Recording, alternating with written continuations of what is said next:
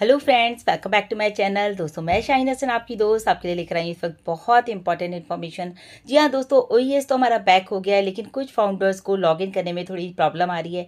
और जो लॉगिन कर पा रहे हैं दोस्तों, उन लोगों को थोड़ी सी चीज़ें वहाँ पर नज़र नहीं आ रही हैं। जैसे कि एग्ज़ाम्पल के तौर पर हम बात करें तो किसी को अपना प्रोफ़ाइल नज़र नहीं आ रहा है, उनके प्रोफ़ाइल में उनका फ़र्स्ट नेम सेकेंड नेम नज़र नहीं आ रहा है, किसी को बिकम एन एफिलिएट नज़र आ रहा है, वो सबको ही नज़र आ रहा है ऑलमोस्ट कोई लॉगिन नहीं कर पा रहा और किसी को अपनी टीम दिखाई नहीं दे रही है, कुछ लोगों के अलग अलग जो क्वेश्चन आ रहे हैं, उन सभी का जवाब आपको, अभी जो मैं यहाँ पर वीडियो ऑडियो अपलोड कर रही हूँ, उसमें आप सबको आपके जवाब मिल जाएँगे। आपको कहाँ से लॉगिन करना है, कैसे लॉगिन करना है, ये भी बताया गया है और आपको अंदर क्या क्या चीज़ें दिखाई दे रही हैं, आपको कनेक्ट नहीं दिख रहा है तो वो भी आपको नज़र आएगा। तो बिल्कुल पैनिक ना हो दोस्तों, बिल्कुल आराम से आपको सारी चीज़ें यहाँ पर नज़र आने वाली हैं, लेकिन इस ऑडियो को पूरा का पूरा सुनिएगा, बिल्कुल भी स्किप मत कीजिएगा, क्योंकि बहुत इंपॉर्टेंट वीडियो है ऑडियो है। और इस वीडियो को दोस्तों ज़्यादा से ज़्यादा लोगों को शेयर कीजिएगा ताकि कोई भी अगर कोई परेशान हो रहा है तो बिल्कुल इस वीडियो को सुनने के बाद बिल्कुल भी वो परेशान नहीं होगा। उसको पता चल जाएगा कि इकोसिस्टम में अभी क्या क्या चेंजेस आने वाले हैं। तो आने वाला टाइम दोस्तों सिर्फ़ और सिर्फ़ हमारा है। तो हम लोगों को पूरे उसके लिए पेशेंस बनाए रखने हैं, जहाँ हमने इतना पेशेंस रखा है। थोड़ा सा और सही, बस कुछ ही दिनों की बात है। सारी चीज़ें स्टेप बाय स्टेप ठीक हो जाएँगी। हम लोग जब बात करते हैं विन विद ऑन पैसिव तो आपको पता है कि यहाँ से हमें जीतना ही जीतना है। तो ऑडियो पूरा आखिर तक सुनिएगा। थैंक यू सो मच तो सबसे पहले हम सभी एक दूसरे को बधाई देते हैं। कि हमारा बैक ऑफ़िस और हमारा इकोसिस्टम अब पूरी तरह से खुल चुका है। हमारी तकनीकी टीम और ऐश ने अपनी ड्रीम टीम के साथ जो मेहनत की है, वह अब सफल हो चुकी है और हम सभी का डेटा सुरक्षित रूप से वापस प्राप्त कर लिया गया है।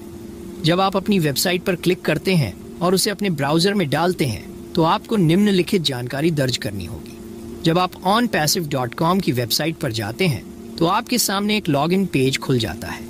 यही वही पेज है जहाँ हम अपने ईमेल आईडी और पासवर्ड भरते हैं। यहाँ एक महत्वपूर्ण बात यह है कि आपको अपनी ऑई यानी इकोसिस्टम की वेबसाइट केवल ब्राउज़र के माध्यम से ही खोलनी है। वर्तमान में एप्लीकेशन का उपयोग करने की कोई आवश्यकता नहीं है। बस सीधे अपने ब्राउज़र में जाए, चाहे आपके पास कोई भी ब्राउज़र हो। आपको पहले google.com टाइप करना है और जैसे ही आप उस पर क्लिक करेंगे, आपके सामने इकोसिस्टम को खोलने का एक पृष्ठ दिखाई देगा। जो नीले रंग में होगा, जहाँ आपको अपना ईमेल आईडी और पासवर्ड डालना है। उसके बाद, जब आप लॉग इन करते हैं तो आपको वहाँ कई चीज़ें दिखाई देंगी। हमारा सिस्टम अब पूरी तरह से वापस आ चुका है।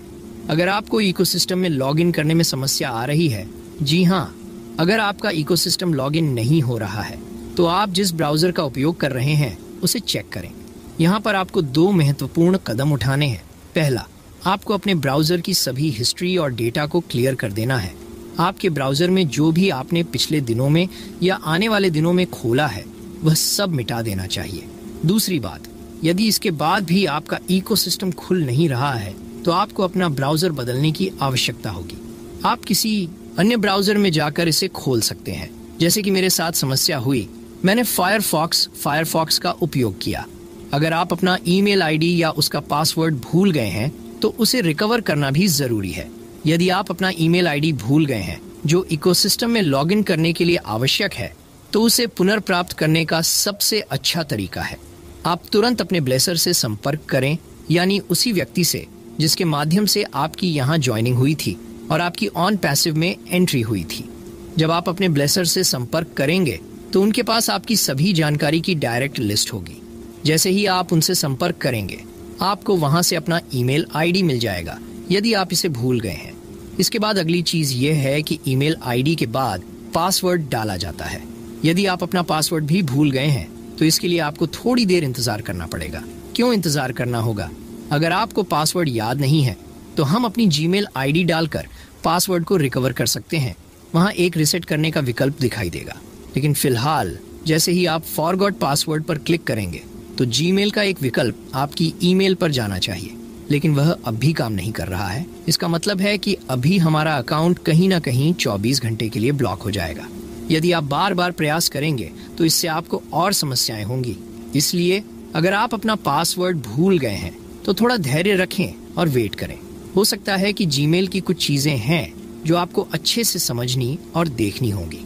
सबसे पहली बात, जैसा कि ऐश सर ने बताया था, आपके प्रोफ़ाइल सेक्शन में ध्यान देने योग्य कई बातें हैं। आपको अपने प्रोफ़ाइल सेक्शन को अच्छी तरह से चेक करना है। जैसे उदाहरण के लिए, मैंने अपने प्रोफ़ाइल पर क्लिक किया और देखा कि मेरे प्रोफ़ाइल में न तो कोई फ़ोटो है, न मेरा पहला और आखिरी नाम और न ही इकोसिस्टम की ज्वाइनिंग डेट इसके अलावा कंट्री रेजिडेंस नेशनलिटी और जो बिलिंग एड्रेस हमने भरा था, वह भी यहाँ नहीं है। अर्थात, हमारी प्रोफ़ाइल पूरी तरह से खाली है। ऐसी स्थिति में हमें क्या करना चाहिए? बहुत से लोग इसे भरने में लगे होंगे। लेकिन फ़िलहाल हमें इसे अपनी तरफ़ से नहीं भरना है। हमें यहाँ कोई भी काम नहीं करना चाहिए। यह संभव है कि ऑटोमेटिक प्रोसेस के तहत एक या दो दिन या तीन दिन बाद हमारा डेटा वापस आ जाए। अगर डेटा वापस नहीं आता है तो कंपनी इसका कोई समाधान ज़रूर निकालेगी।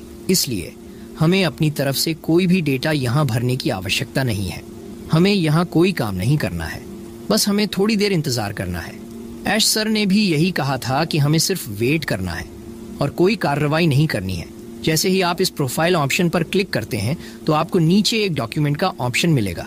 जी हाँ जब आप डॉक्यूमेंट ऑप्शन पर क्लिक करेंगे तो आपको पता होगा कि हमारे पास दो चीज़ें थी। एक एनडीए सिग्नेचर और दूसरा एफिलिएट एग्रीमेंट का फॉर्म जिसे हमने भरा था। लेकिन फ़िलहाल, इन दोनों का ऑप्शन यहाँ बिल्कुल भी उपलब्ध नहीं है।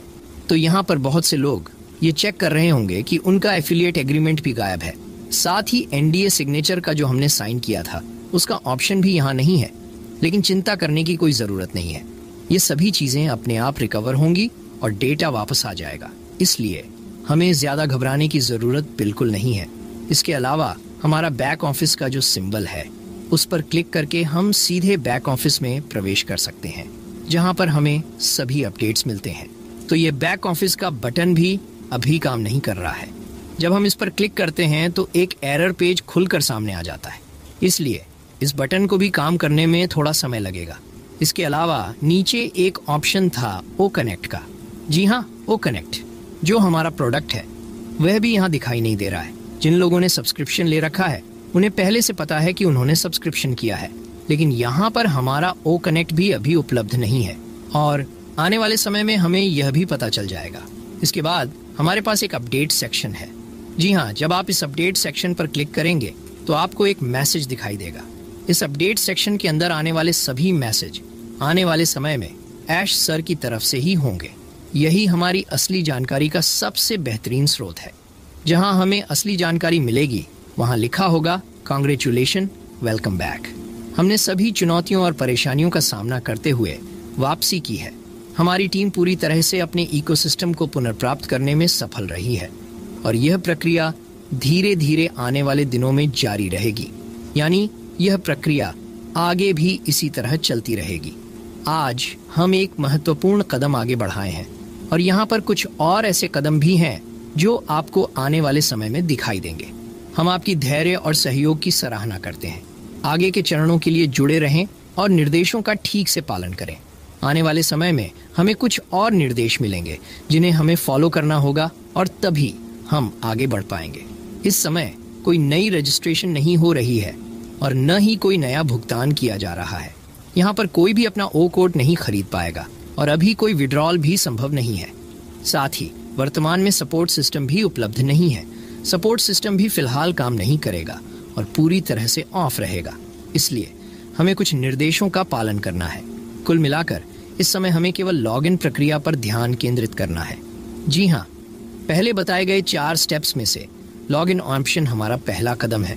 इसके बाद आपको अपने डेटा को सही तरीके से चेक करना है। अपनी टीम साइज़ की जाँच करनी है और अपने वॉलेट की स्थिति भी देख लेनी है। आपके वॉलेट में जो जानकारी है, उसे आपको सही तरीके से चेक करना है। बाकी का डेटा जो आपको दिखाई नहीं दे रहा है, वह धीरे धीरे अपने आप दिखाई देगा। इसीलिए इसके लिए हमें इंतज़ार करना होगा। किसी भी प्रकार की छेड़खानी करने की आवश्यकता नहीं है और अधिक चिंता करने की बिल्कुल भी ज़रूरत नहीं है। यदि आपको अपनी इकोसिस्टम में लॉगिन करने में कोई दिक्कत आ रही है तो मैंने इस वीडियो के डिस्क्रिप्शन में लॉगिन करने का लिंक दिया है। आप उस लिंक पर क्लिक करके अपनी इकोसिस्टम में लॉगिन कर सकते हैं। थैंक यू सो मच दोस्तों। आपने पूरे ऑडियो को बहुत ध्यान से सुना। अब इसे फॉलो कीजिए। Thank you so much